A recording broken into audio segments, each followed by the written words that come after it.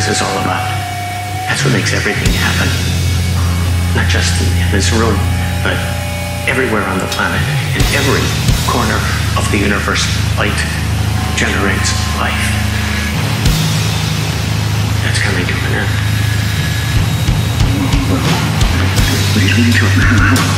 When suns and stars explode, they create new suns, new stars. And each time, these new entities are smaller, containing less energy.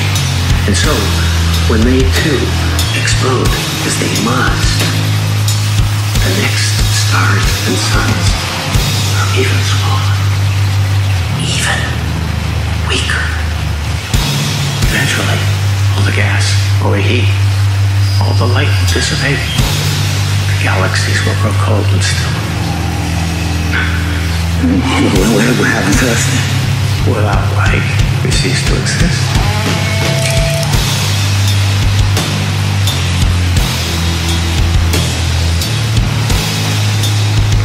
We, we, we could um, maybe um build, build a rocket ship, right? Or typical energy to fuel a rocket to space. Besides a big to go. There's nowhere to hide from the inevitable. All life will stop. So don't you see? Everything we do, the plans we make, the hopes we have, they're futile.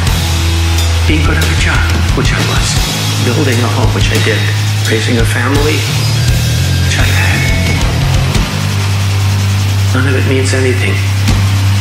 Because no matter how we try, how, how much we strive and struggle, it'll all come to naught. Life is a waste of time.